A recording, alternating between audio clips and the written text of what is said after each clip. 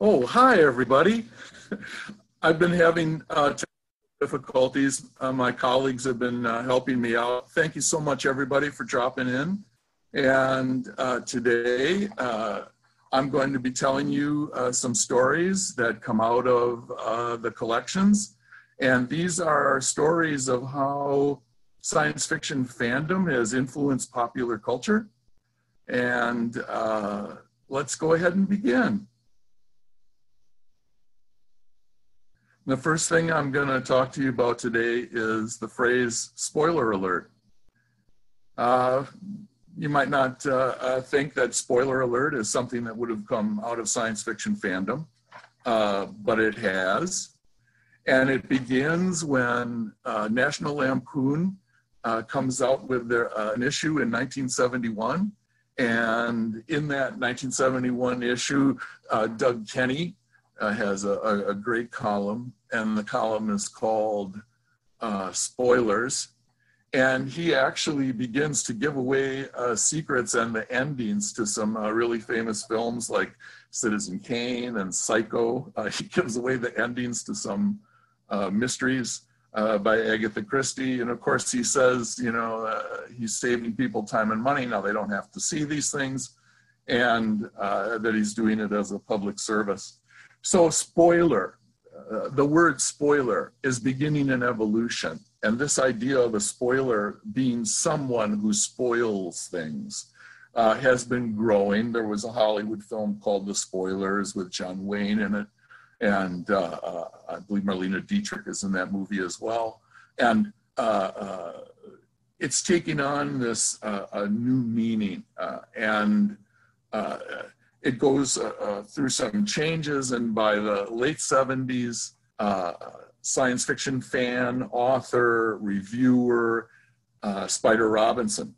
Spider Robinson has a column in uh, what is sort of a, a pro fan zine, a semi pro zine called Destinies. And this is a, a, fan magazine that's actually published by Ace Books as a paperback.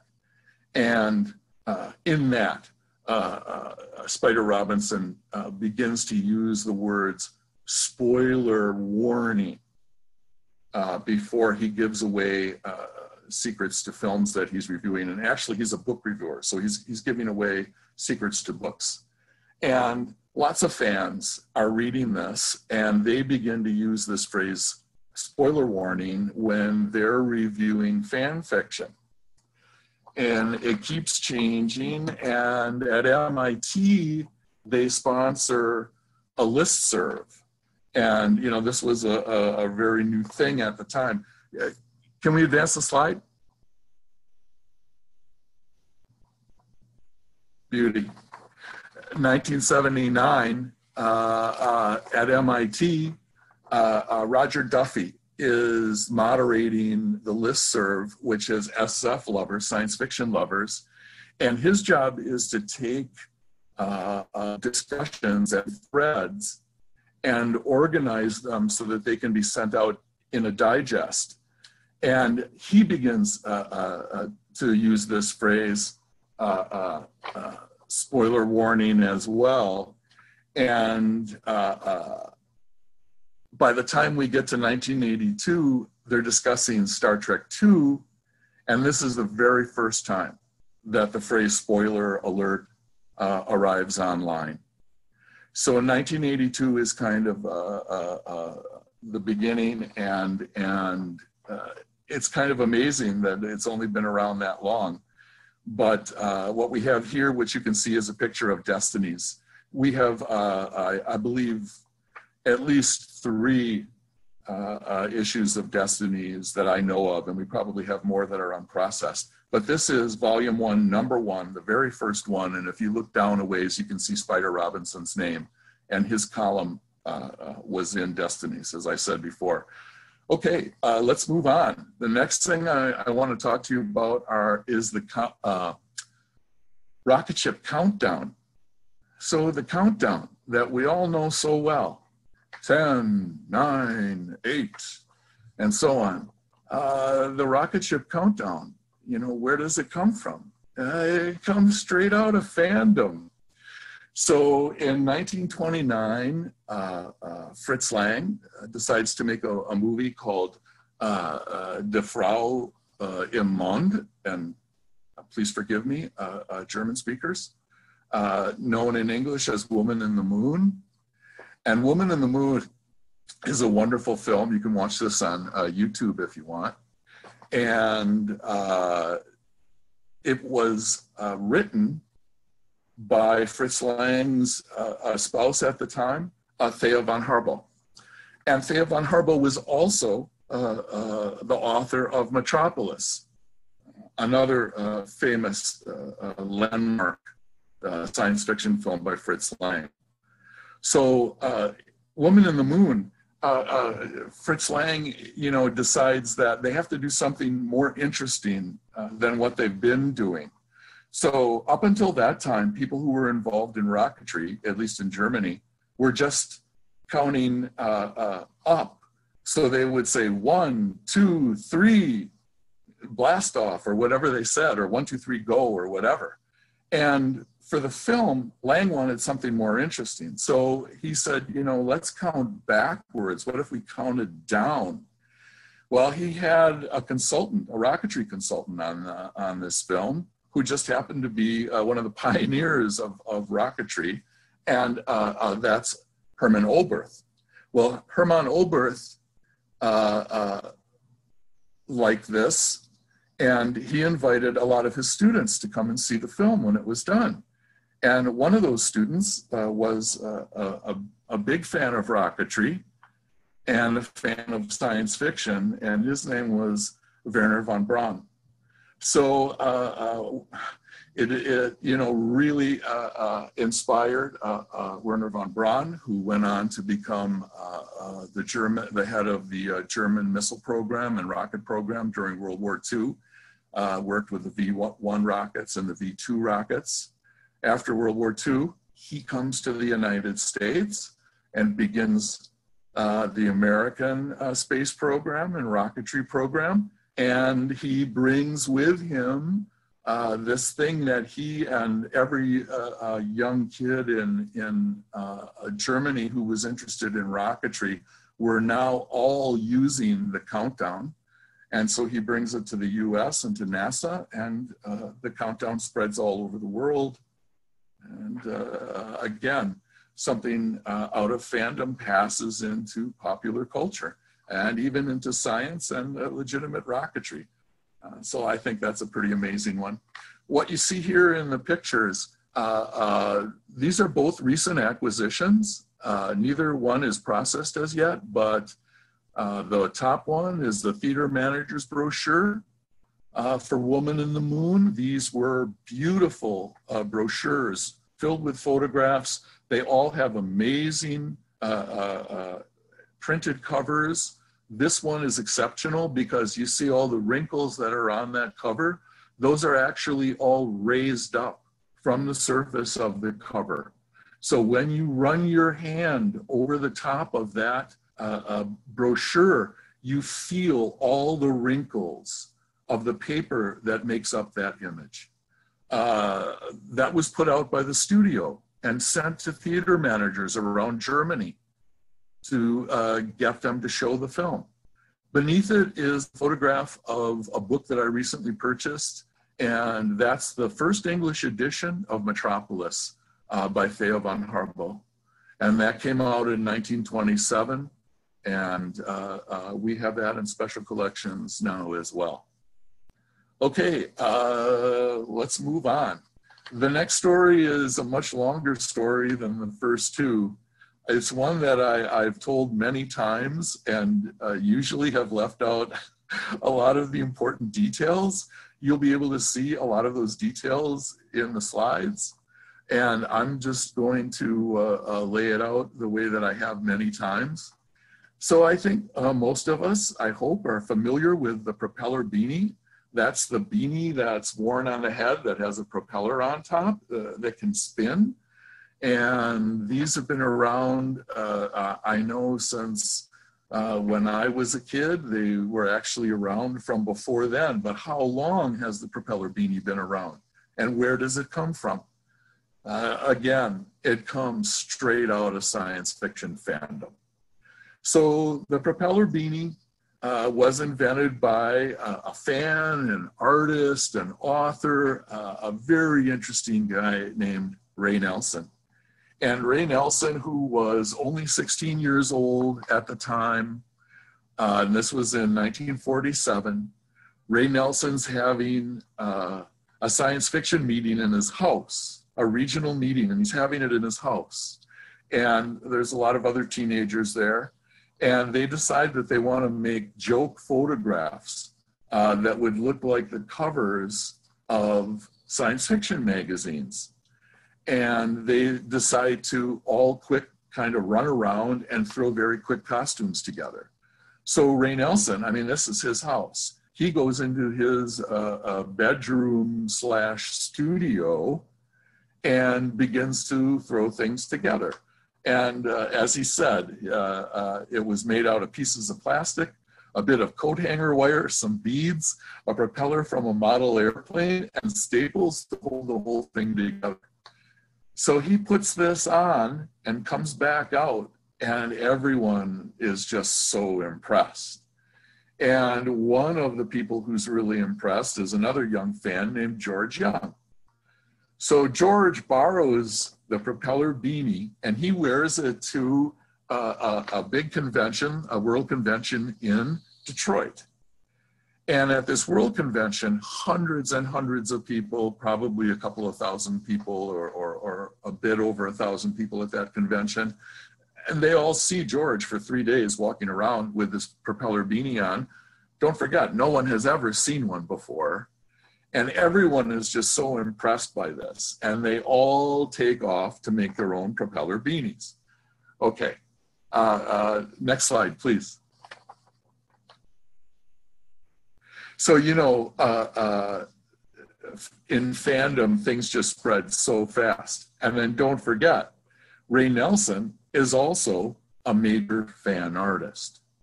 So Ray immediately begins to make drawings of fans wearing uh, uh, the propeller beanie.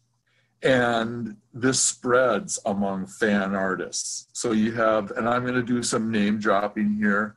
Uh, you, you may, most of you will not know these names or recognize them, but famous fan artists like William Rotsler and ATom and uh, uh, Bjo or Barbara Joe Trimble. Uh, uh, they all begin creating characters who are fans who wear propeller beanies. So in the illustration you see here, which is by Ray Nelson, you have two fans. They're holding dowsing sticks. So for anyone who doesn't know, a dowsing stick is a stick that you hold in front of you and you walk around. And if there is water underneath you, the dowsing stick is supposed to point down and uh, show you where the water is. It's it's a sort of a a, a folk uh, uh, method for discovering water. They're both holding dowsing sticks and they're both wearing propeller beanies. So by this time, anyone who's wearing a propeller beanie is considered a science fiction fan. And they're both wearing them. And the caption reads, What a small world. I read analog too. Analog being the title of one of the most famous uh, science fiction magazines. So uh, Ray's drawing these, uh, uh making these drawings. Other people start to make these drawings, and Ray Nelson uh, visits relatives in California. While he's in California, he hears about a contest. The contest is to create a character that will be used in a television series. And uh, uh, people are invited to send in drawings and ideas for characters. So naturally, Ray Nelson sends in an idea for a character, uh, a little boy named Beany, and he wears a propeller beanie. And he wins. He wins the contest. Uh, next slide, please. We're going to move ahead now and like a year maybe rolls by, and a television program begins in California that shows in the Los Angeles area, and it's called Time for Beany. And the Time for Beany show is a huge hit. I mean, it's bigger than anything we can think about today. The show is also 15 minutes long. These are 15 minute segments of a puppet show. And the, uh, uh, the viewing audience surpasses at times uh, a Super Bowl audience. That's how many people are turning into this. It was created uh, by Bruce Sedley and Bob Clampett, and the puppets were voiced and controlled by two uh, young men who go on to have amazing careers, and that's Daws Butler and Stan Freberg. Uh, uh, Daws Butler, uh, uh, and uh, this is you know one of those lists that I could never memorize. Daws Butler was the voice of Loopy de Loop, Wally Gator, Yogi Bear, Hokey Wolf, Elroy Jetson, Quick Draw McGraw, Snagglepuss, Huckleberry Hound, and probably, you know, 30 to 50 more uh, uh, characters. Uh, he worked primarily for Hanna-Barbera. So anybody who's watched, you know, Hanna-Barbera cartoons from the 60s, 70s, well, 50s, uh, 60s, 70s, you were listening to Daws Butler over and over again. So Daws and Stan start out, and you can see the picture here. They start out uh, doing this, and they're they're following scripts. You can see what the puppets look like. They're following scripts, and the scripts are written by Bob Clampett, and they are ad libbing like crazy.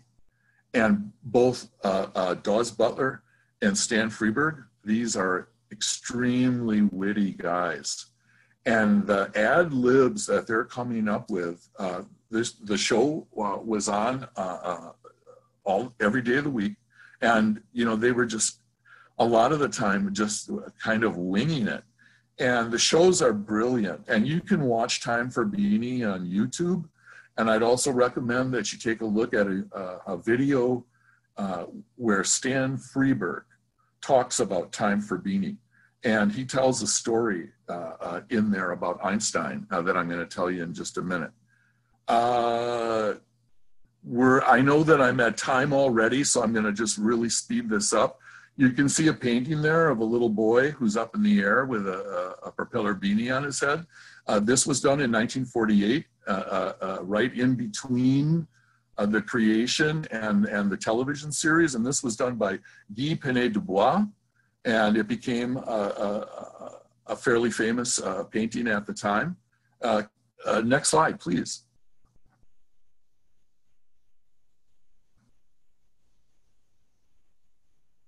Okay, here you can see what Time for Beany looked like.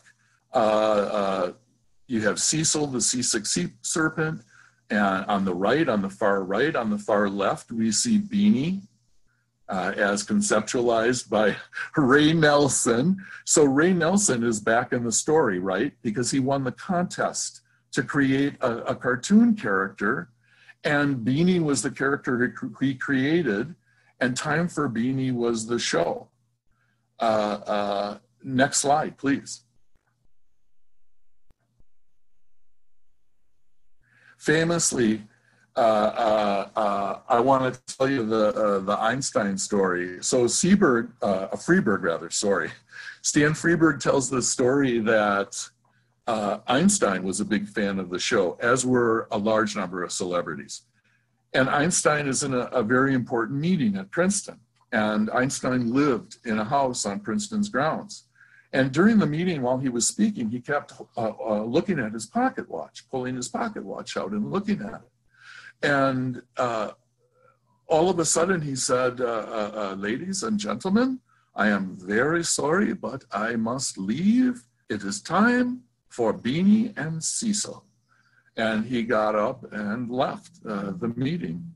And uh, again, this is a story told by Stan Freberg. Uh, um, he may have stretched the truth a bit there. Uh, uh I'm uh, just relating uh, what I know. yes, I'm a coming beanie boy. Hi, Greg. Hi, Greg. Greg Prickman with us, ladies and gentlemen. fantastic. So by 1958, the propeller beanie is such a huge part of American life that it's featured in the American Pavilion at the Brussels Fair. Uh, in 1962, Bob Clampett, who worked on Time for Beany, brings Time for Beany to television. He changes the name to Beany and Cecil. It's a Saturday morning television, uh, kids television smash hit. People all over America begin using the catchphrase, uh, DJ, you dirty guy.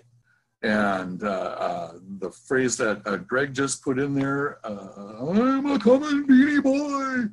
Uh, it's it's hard to really know who the star of Beany and Cecil was. Was it Beany or or was it Cecil? definitely both co-stars. and and you know the only real change was that Beany's beanie, the propeller of Beany's beanie, uh, would allow him to fly, so he could fly now. And Ray Nelson, uh, Ray Nelson said famously, uh, he never he never bothered to patent it, and he never made a dime off it. And uh, he did go on to write some interesting books and and some popular books, and and became a, a fairly well known author.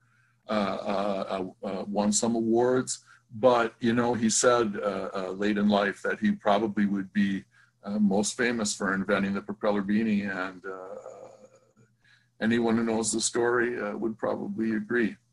So uh, questions please. Thanks so much. And questions please. Yes want to learn more. You can take a look at these things. We're recording this so you can take a look at this later. Uh, anybody that wants to talk about any of these things, learn anything more about what we have in special collections relating to anything, special collections, popular culture collections, happy to talk to you at length, uh, uh, as anyone will uh, quickly attest. And uh, this is uh, the outside of my office. No, unfortunately, you're probably not going to get to come and see me. perhaps by appointment, I'm not sure how we'll work it out, but uh, uh, get in touch and we'll see what we can do.